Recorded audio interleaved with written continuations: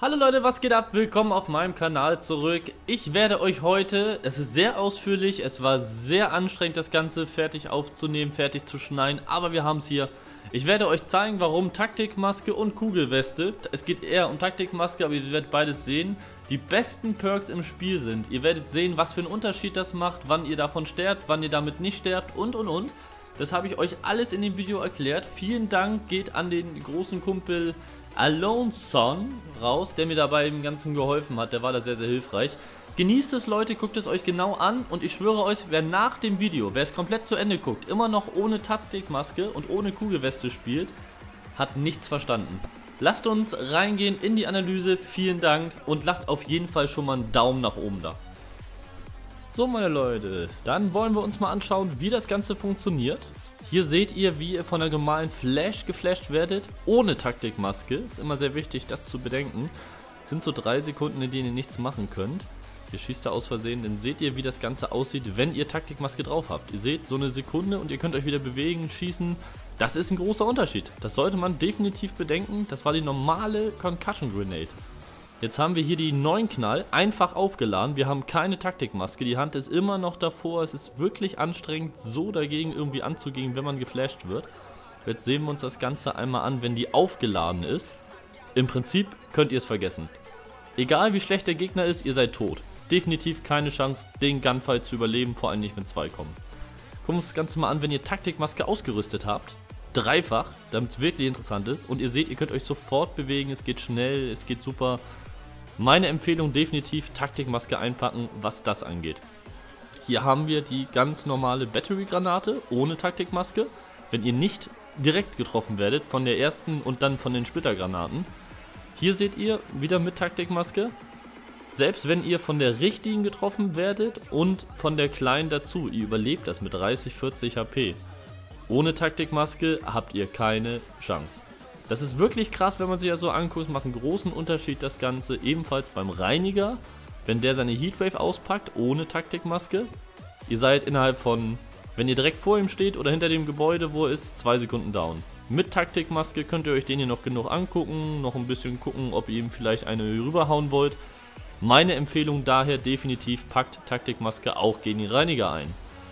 Das ist wieder ohne Taktikmaske, aus kurzer Entfernung. Und das gleiche haben wir auch aus der längeren Entfernung. Ihr habt ohne Taktikmaske gegen den Reiniger keine Chance. Dann wollen wir mal gucken, was die Stolperminen mit uns anstellen. Und wir sehen Instant Tod. Das Ganze sieht anders aus, wenn ihr Taktikmaske ausgerüstet habt. Ihr überlebt mit 40 Schaden. Hier war die Entfernung zwischen den Beinen jetzt etwas länger als sonst. Gucken wir uns das Ganze doch einmal an, wenn die Entfernung etwas geringfügiger ist. Zum Beispiel hier, das ist ein wunderbares Beispiel dafür. Schauen wir uns einmal an, wie das dann aussieht. Hauen wir die Taktikmaske ran. Vielen Dank. So, laufen wir mal durch. Beide treffen uns definitiv mit Taktikmaske und mit Kugelweste in dem Fall. Aber ihr seht schon, es ist ein riesen Unterschied, ob ihr die beiden Sachen jeweils mitnehmt, egal ob es jetzt ein Explosive ist oder einen neuen Knall damit ihr solche Sachen überlebt. Das heißt, wir haben eine Möglichkeit, Spezialisten bis zu einer gewissen Art und Weise zu kontern. Das ist ultra wichtig, deswegen bisher gucken wir mal, was wir noch alles Schönes finden dabei. Der Sucher ist, glaube ich, die abgefuckteste Sache, die es in dem Spiel gibt. Ihr seht hier, was passiert, wenn wir keine äh, Taktikmaske haben. Das Ding lebt uns für 100 Milliarden Sekunden. Jeder Gegner ohne Hände tötet uns in der Zeit ohne Probleme.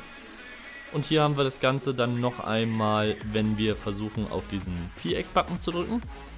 Das klappt. Da müsst ihr immer sehr, sehr schnell sein. Ohne Taktikmaske ist das schwierig. Und wir versuchen das einmal mit Taktikmaske ohne drauf zu drücken. Und ihr seht, der Charakter nimmt das Ding von alleine. Dann haben wir hier unseren Freund, den Stacheldraht-Heini oder auch, wie man ihn gerne nennt, den nervigen Talk. Ihr seht, ihr könnt nicht einfach drüber laufen. Ihr nehmt ultra viel Schaden. Ihr könnt auch nicht einfach drüber springen, dann nehmt ihr noch mehr Schaden. Und genauso die Barrikade, die macht euch fertig. Mit Taktikmaske allerdings sieht das Ganze anders aus. Ihr behaltet noch ungefähr die Hälfte eures Lebens bei dem Stacheldraht.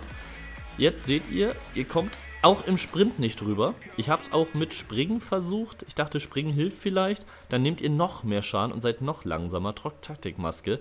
Es hilft euch also, aber ihr kommt nicht einfach so durch, wie ihr wollt. Anders sieht das selbstverständlich aus, wenn wir uns jetzt nochmal um die Barrikade in diesem Fall kümmern. Hier seht ihr, springen wirklich nochmal, ich habe es hin und wieder versucht, es klappt nicht. Die Barrikade macht uns, wenn wir keine Taktikmaske haben, unglaublich viel Schaden und wir sterben in der Regel davor. Mit Taktikmaske könnt ihr frontal darauf zulaufen, zur Seite laufen und wieder zurücklaufen, habt immer noch genug Leben. Hier seht ihr das wieder mit Taktikmaske. Es passiert im Prinzip eine Ewigkeit nichts. Ihr könnt es überleben. Das heißt, auch gegen Torque ist Taktikmaske ein super Perk. Ich kann es euch nur empfehlen. Hier laufe ich sogar langsam drumherum. Es klappt trotzdem. Wenn ihr schnell lauft, passiert überhaupt nichts. Das heißt, bei allen Spezialisten, die wir bisher ausprobiert haben, mit Taktikmaske drauf, sieht man den großen Unterschied. Man kann diese Sachen überleben. Es heißt nicht automatisch, dass jetzt die Spezialisten deswegen wirkungslos sind. Gerade hier bei Talk seht ihr, wenn ihr diesen Stacheldraht lauft, da ist trotzdem schwierig, irgendwas noch zu machen. Aber es ist für den Punkt, also für einen einzelnen Punkt im 10-Klassensystem, definitiv, finde ich, das wichtigste Perk schon jetzt. Und jetzt kommen wir noch zu ein paar anderen Sachen. Wir haben ja noch Molotovs und Splittergranaten. Und schauen wir mal, was dabei hilft. Auch wenn die Ausrüstung bisher eher selten genutzt wird. Aber es ist überraschend. Passt mal auf. Hier haben wir jetzt den Molotov. Wir haben keine Taktikmaske. Der wird direkt auf uns geworfen im Prinzip. Wir können mal so gucken, ob wir da irgendwo reinlaufen können. Das ist das Ergebnis. Es dauert so zwei Sekunden und ihr seid tot. Das unter der Prämisse, dass ihr im Molotow drinne bleibt, in dem Feuer. Jetzt schauen wir mal, wie das Ganze aussieht mit Taktikmaske und ihr seht, man kann hier im Prinzip ein Barbecue machen und noch ein Picknick und es passiert nichts. Feuer ist bisher in diesem Spiel, abgesehen vom Reiniger, natürlich noch nicht so häufig benutzt worden. Das heißt, auch der Molotow ist jetzt auch, soweit ich, ich kenne glaube ich keine Aufgabe, wo das irgendwie vonnöten ist.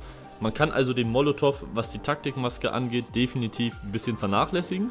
Aber dafür, dass die Taktikmaske Konterdrohnen kontert, fast alle Spezialistenfähigkeiten plus Ausrüstungsladungen, die so mitgenommen werden, ist es definitiv, ich habe es euch ja jetzt schon achtmal gesagt, ich will, dass ab jetzt jeder damit rumläuft, eine hilfreiche Ergänzung neben Kugelweste. Na klar, könnt ihr auch Plünderer mitnehmen, dann würde ich die Kugelweste nämlich da lassen, aus dem einfachen Grund, dass es weniger Explosivgranaten gibt, die abfacken, als ähm, Flashgranaten oder ähnliches. Battery gibt es nur einmal, so häufig wird man davon nicht gekillt, ganz im Gegensatz zu einer neuen Flash oder von einer neuen Knall, die euch andauernd flasht und euch bewegungsunfähig macht.